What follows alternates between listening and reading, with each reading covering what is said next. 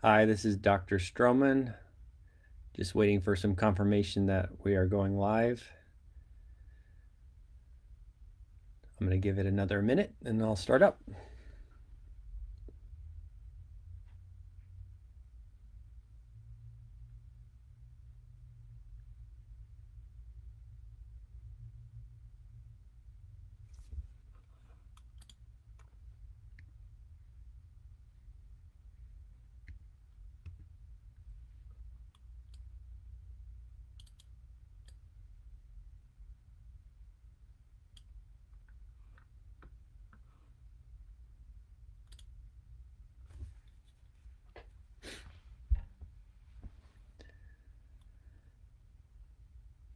So today I'll be talking about marijuana, THC, which is the main component, and CBD. I chose to give you some slides today because it's sort of complicated to explain um, the system that marijuana induces and stimulates.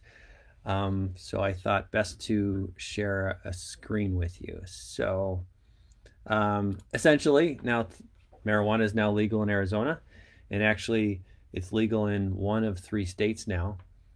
For the longest time, it's been a Schedule One drug, which means we can't even study its effects. Um, and finally, that's been finally now it's legal. Um, and researchers couldn't even access uh, any versions of marijuana for a long time. Hence, there's been a lot, not a lot of studies, but now there's more studies coming out, so we have a little more little, little more evidence. Um, the points of this talk today, really, it's because it's now legal. I'm sure some people may try it or have already tried it. So I want to elucidate how it works. Uh, I'd like you to understand there is a system that is inborn in us called the endocannabinoid system. It's just like our nervous system or our skeletal system or our muscular system. We have this ECS or endocannabinoid system that is stimulated by THC and CBD. Uh, but we all also have endogenous production, which is, means we actually produce our own substances that stimulate this system. I'd like you to understand some of the players, the receptors, and how uh, these uh, these fatty acids are made. I'd like to do a quick comparison to some other drugs, namely alcohol, since alcohol and cannabis are two of the most commonly used drugs. Um, and lastly, I'm not for or against any drug or supplement. All I want to know is the effects. And just like any medication I prescribe or any supplement I prescribe, um, there's effects. Now, there's desired effects. For example, metformin has a desired effect of helping sugar and insulin resistance, and it has other effects, which we call the undesirable effects or the side effects, which, you know, for metformin would be nausea. So I'm going to treat this just like any other uh, prescription or supplement we prescribe. So this is our endocannabinoid system. Um, and you can see it affects lots of different effects, you know, heart, intestine, cramps, um, small intestine, large intestine, and obviously brain. Um, so it has a huge amount of effects. Um, basically, this is a neurotransmitter. So this is a cell and it transmits its information to the next cell via these neurotransmitters here. So this is a pathway. And obviously in your brain, there's trillions of these connections. And obviously it's in your nervous system and skeletal system as far as nerve transmission. But uh, basically, this is the transmission of information through a nerve. In the endocannabinoid system, basically there's a on the surface that received it, we can produce these two endogenous. These are the two endogenous cannabinoids we produce. They're called they're AEA and 2AG. Those then go back to the cell and tell that cell to either downregulate or upregulate. So basically the endocannabinoid system is in most of your nerve systems, but it directs flow of information. And, and it basically gives the the the whole system tone. So it can up the tone or decrease the tone. So I like to think of it as like a modulator. It modulates things. It fine tunes things. Um, in essence, it's kind of like a homeostatic, gives us homeostasis, gives us balance. And this again, endocannabinoid system is in your in your body everywhere. Um, and when do we make endocannabinoids? Basically, anything, any input will increase the tone of the endocannabinoid system. So, example, exercise, stress, singing, actually meditation, um, time of the day, meaning, eh, you know, there's varying, even testosterone has varying effects during the time of the day. Um, and basically, you have input, and then the output is you either cope with stress, you have some pain relief, or appetite. So basically, any environmental stimulus gets us a response. Here's another picture which describes um, the neurotransmitters that are involved. Um, so this one here is called 2AG. This is basically the main workhorse of our endogenous system. So this is basically a fatty acid lipid. And this basically goes from, again, the neurotransmitter to the one that's received or that has sent it and tells it either downregulate or upregulate. This is another one called AEA. This is uh, anandamide. Um, this is basically the molecule that gives you a runner's high. So interestingly, the endocannabinoid system can be enhanced by a runner's high. Uh, it can also be enhanced by yoga and meditation, interestingly. Um, the AEG is primarily for pain response and appetite. Uh, and it's interesting, I read that there's other endocannabinoids that focusing on dopamine receptors. There's other endocannabinoids that focus on serotonin receptors. So at this point, we're only really scratching the surface on this whole system. Um, there's another, another example again. The nerve usually transmits this way, but the endocannabinoid system goes retrospectively and either modifies, upregulates, or downregulates. You have two receptors for these endocannabinoids. So you have two receptors. So the receptors are namely CB1 and CB2. Um, CB1 is mostly in brain, but it also is in fatty cells and it's in your immune system. I'm sorry, it's in your intestinal system. And interestingly, CB1 has some effects on lipid storage and insulin sensitivity. So it, CB1 can be stimulated by, again, marijuana, but endogenously in your whole system, it's it's uh, activated by the anandamide and the 2AG. Um, the CB1 receptor. So if you take um, if you take marijuana, you get some stimulation of this receptor, and it partially stimulates it. Um, interesting, Spice or K2, which is a, a drug that's pretty terrible.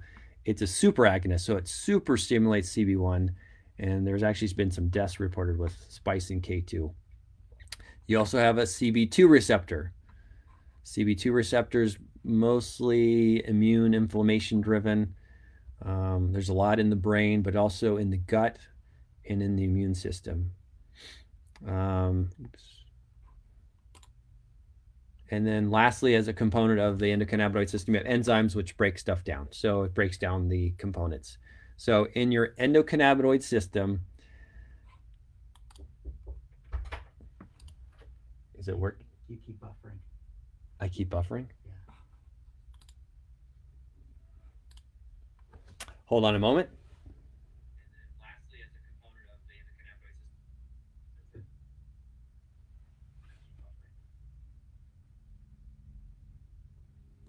Can you refresh or something? I mean, I, I'm I'm online. You're not on the clock, right? Nope. Go ahead and try it again. Um. Okay, we'll start again here. Um. So you have an endocannabinoid system, and then let's get back on here. And then you have the effects of exogenous. So this would be marijuana, THC, CBD. There's a whole host of, of non-prescription and prescription drugs you can use. So typically in this in this uh, example, you have stress, you release your endocannabinoids, which are anandamide and 2-AG, and you get you get this unlocking of the key, and you basically de-stress. When you ingest via smoke or inhalation or vaping or or whatever you use for cannabis, you ingest THC, which then has this global response. So you get a sort of instead of stimulating slightly like an endocannabinoid would, you basically flood the system. So you can have your common issues with increase your appetite, you feel sleepy, um, you can feel happy, high, anxious. There is a psychosis risk with THC, and it obviously affects memory, cognition, thinking, and it affects balance too. Um, but you can kind of see THC sort of mimics your endogenous.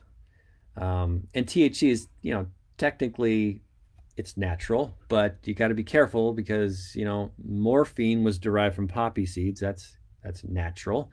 Um, so just because it's a natural substance doesn't mean it's free from harm. Again, every medicine, every supplement has effects and side effects. But you can kind of see the system here when you ingest THC you know, you get multiple effects. It's very imprecise. And technically, what you would do if you do this chronically is you actually downregulate your endogenous system, which can be, you know, kind of dangerous, especially if you're a teenager. Um, we think actually teenagers they enhance their own endocannabinoids during that time period just with their growth, meaning you know they take a lot of risks, and it actually might be attributed to a an increase to the tone of the endocannabinoids. Now, if that teenager then also does THC, do you mind moving into one of the exam rooms? Yes. Hold on a moment.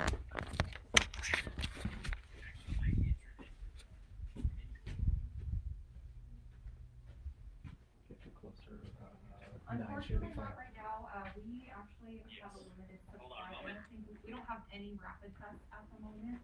Uh, we just have the PCR and those we're using No, for I know testations that have seven or symptoms, eight so at the has moment, A Wi-Fi Yeah, spot? we, uh, they have a, like a back order on the actual tests and then saving it for the exam. So we can I'll let you know. Okay, I guess there's some buffering, so I've just moved positions. Hopefully, we have less buffering. Um, so, as you can see, again, teenagers have an upreg a, a normal upregulation of endocannabinoids. THC could basically blunt that because you're stimulating the receptors. The receptors then start to say, well, okay, we have enough of this. I'm going to downregulate. And then eventually, when you're off THC, you have a, a lowered endocannabinoid system. Um, I thought this was a good time to compare other substances. Um, so this is just an example of a lethal dose. It's called LD50, meaning uh, this is kind of a morbid thing, but the dose, the lethal dose of 50 means if you give this dose of alcohol, which is 13 shots, about half the individuals may pass. So it's a, a lethal dose. Um, so I'm just going to go over oh, alcohol, opiates. Ba- basically, alcohol is a general toxin. It's the number three preventable death. The dependency on alcohol is 23% of individuals are dependent on alcohol. Uh, it causes liver disease, small brains, high blood pressure, AFib, and then cancer of the mouth, throat, and esophagus. Uh, THC, as you can see, cannabis. Here's the effective dose and the lethal dose. Um, THC toxicity is actually quite low. Actually, there have been little deaths attributed to marijuana. The dependency rate is still there. It's not as high as alcohol as far as 23%, but it's about 9%. It's definitely safer for potentially pain when you compare it to opiates, which, you know, we've heard of the opiate crisis, which is highly addictive. Um, THC toxicity, there's some evidence that maybe testicular cancer is potentially higher. And definitely in a teen developing brain, THC toxicity changes the brain, the memory, hippocampus, lower IQ. This lethal dose just compares effective dose of alcohol versus lethal dose. Same thing with caffeine. Effective dose about 100 milligrams. Lethal dose would be 10,000 milligrams. And the safety ratio compares basically the effective dose to the lethal dose. So you can see these safety ratios. There's a there's a fine tune point where you can be effective, but you can do harm. For alcohol, that's about a ratio of 10. Caffeine has a ratio of 100. Cocaine a ratio of 15. And interestingly, cannabis has a ratio of 1,000. Same with LSD. And I found Tylenol kind of interesting too. The effective dose versus the lethal dose puts it on par with alcohol. So any medication has any potential side effects here. Um, I just thought it was a good comparison to compare some of these common uh, things we ingest. Um,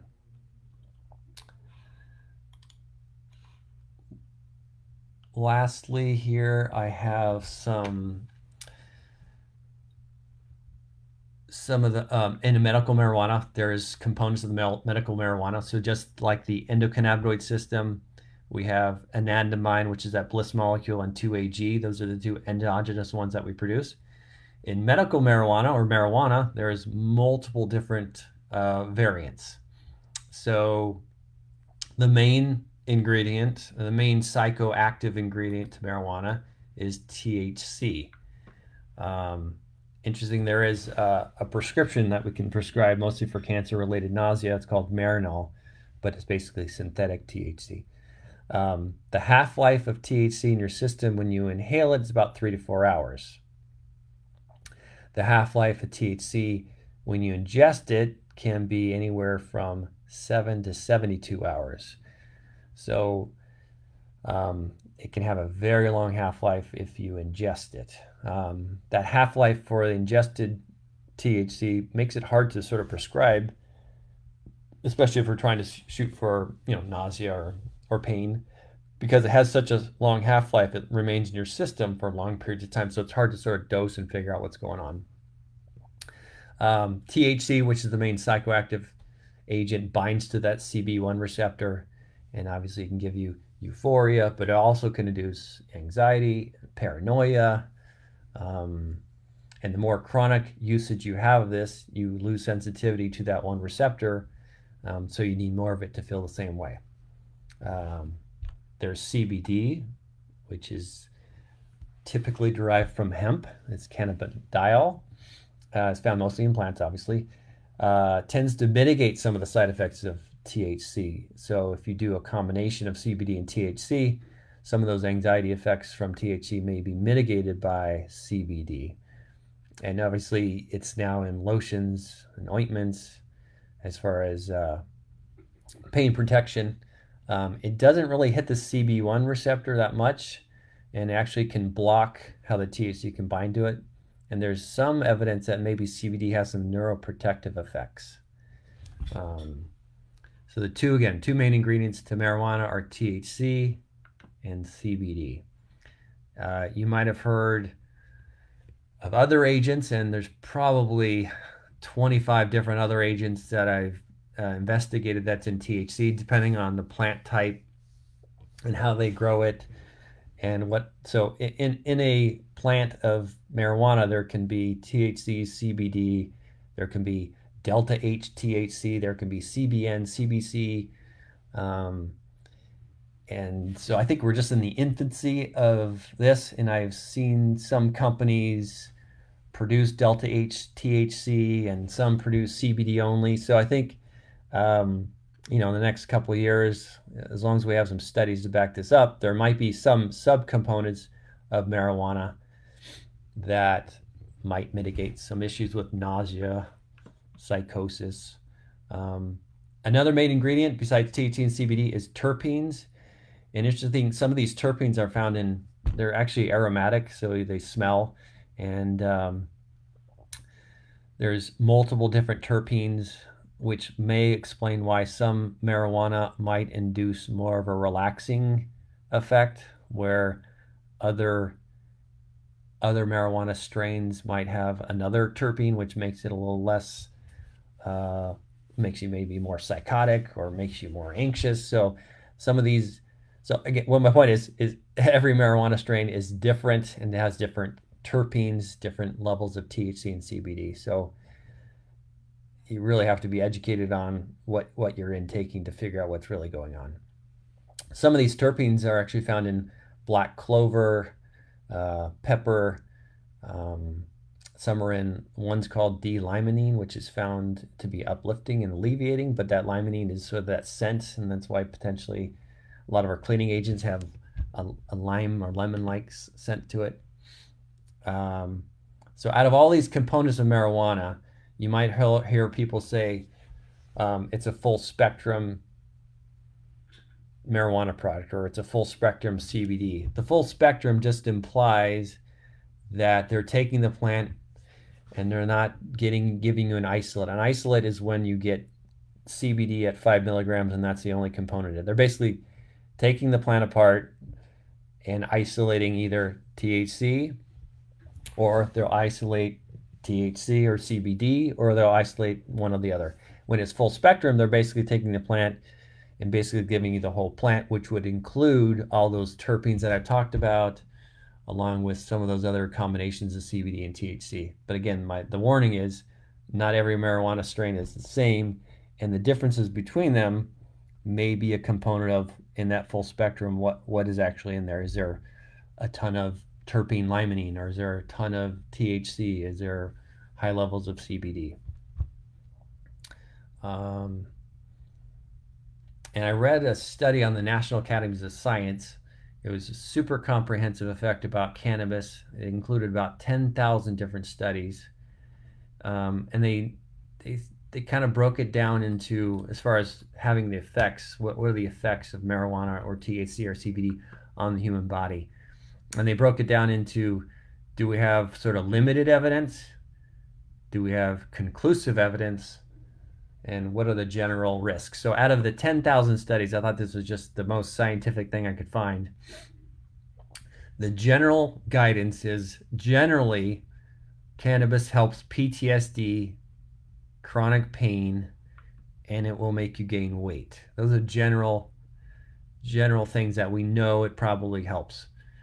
Uh, well, some people don't want to help weight gain, but in a cancer patient who has cachexia, that can be a significant issue. The general risks is hyperemesis, which is a sort of a chronic nausea, vomiting, and that's associated with daily usage.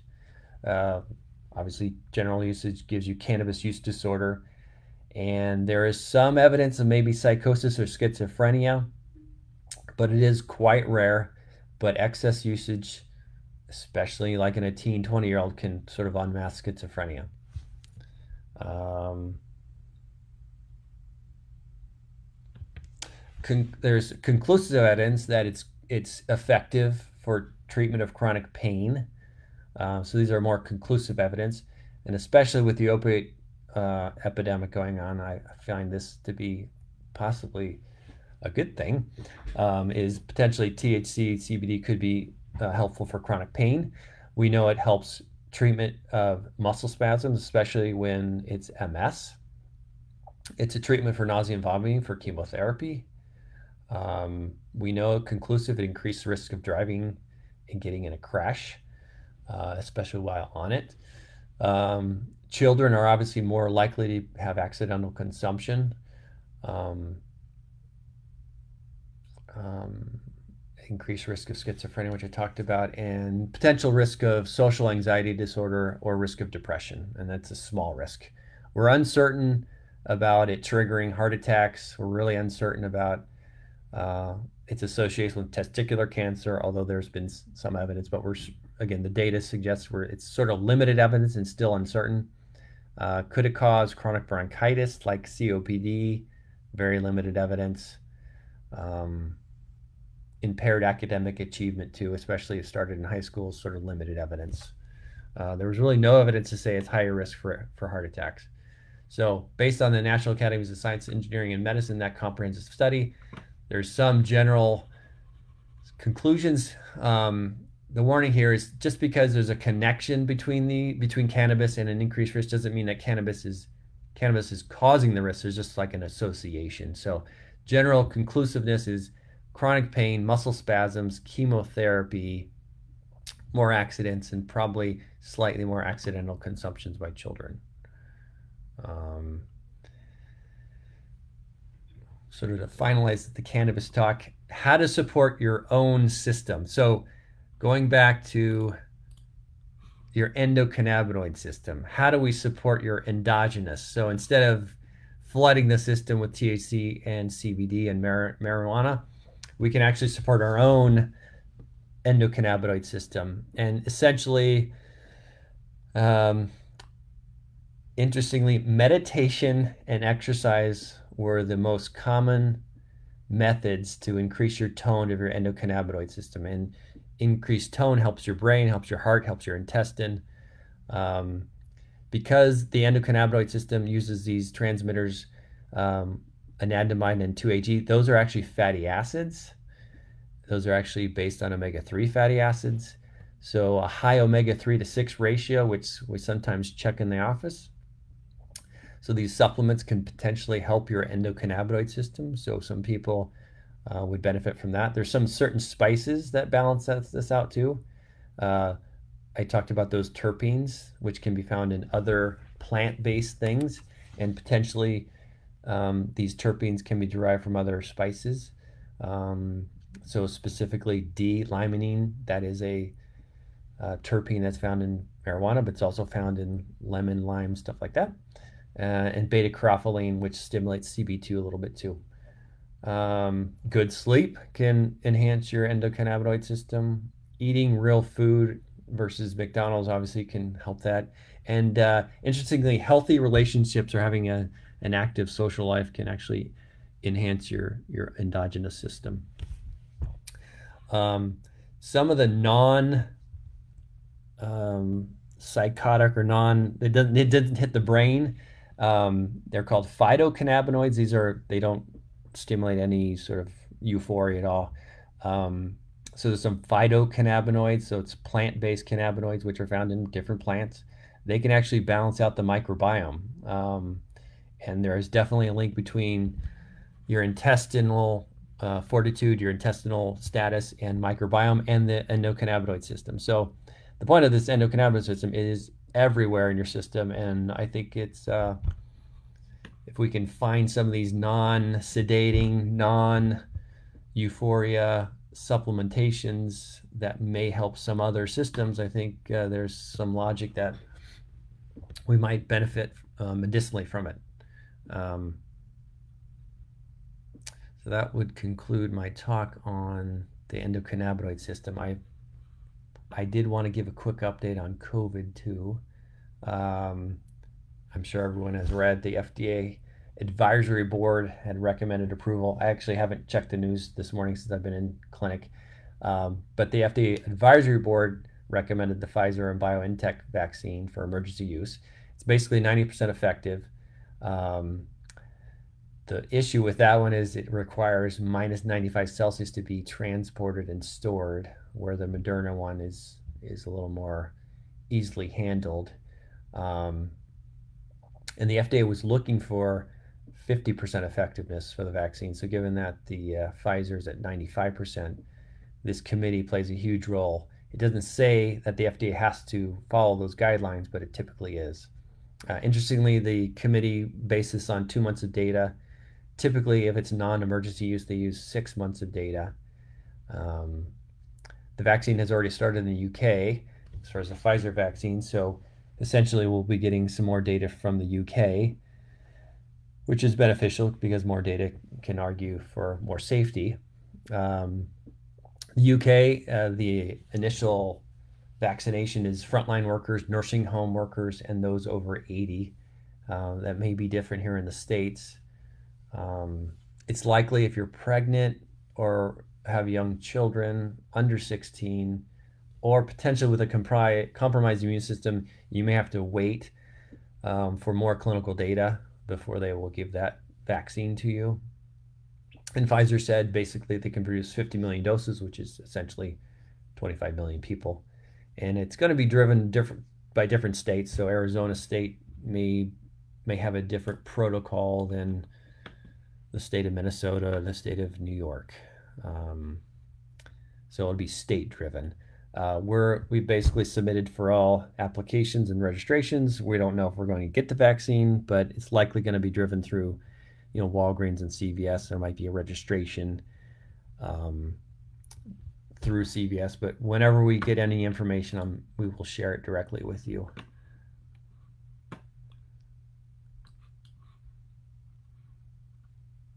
So that concludes my talk. I'm sorry there was some initial data transference issues and buffering. Hopefully we can figure that out. Um, and that's it for now. Have a great weekend. Bye.